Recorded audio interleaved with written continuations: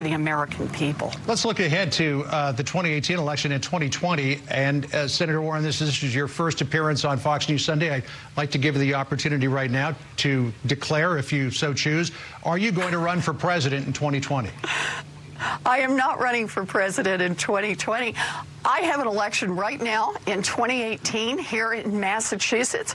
And I've been out there talking to folks all across mm -hmm. the Bay State. I just did my 23rd, I think it is, town hall in Weymouth on Saturday, my 22nd on Friday in Springfield.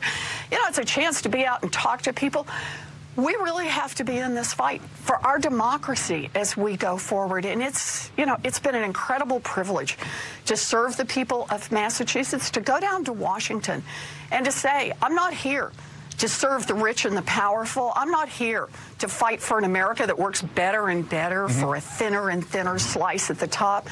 I'm here to fight for working families like the kind of family I grew up in. Well, I know that you're looking at November as opposed to 2020, but indulge me a, a moment here if you if you would. Uh, there are many people who are saying, should you choose to run in 2020, and, and, one of these groups is the Berkshire Eagle, Massachusetts newspaper that endorsed you in 2012, that the issue of your ancestry will come up, and and they're suggesting that you put it to rest, saying, quote, that Elizabeth Warren should screw up her courage and take the spit test, a DNA test, that a positive test would permanently resolve the issue while possibly shutting down President Trump. Would you be willing to take a DNA test to, to put this issue to rest? Look, let's let's start again where you started. I'm not running for president, but let me tell you a little bit about my family.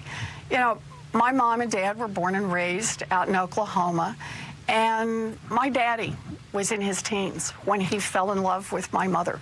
She was a beautiful girl who played the piano, and he was head over heels in love with her and wanted to marry her. And his family was bitterly opposed to that because she was part Native American. And eventually, my parents eloped.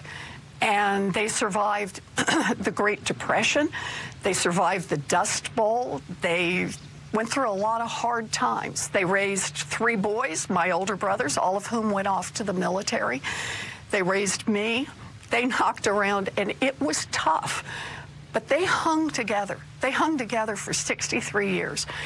I know who I am because of what my mother and my father told me, what my grandmother and my grandfather told me, what all my aunts and uncles told me, and my brothers. It's a part of who I am, and no one's ever going to take that away. Senator Warren, we'll leave it there. Thanks so much for joining us today. And uh, for on behalf of Chris Wallace, please come back. Thank you. I'd love to.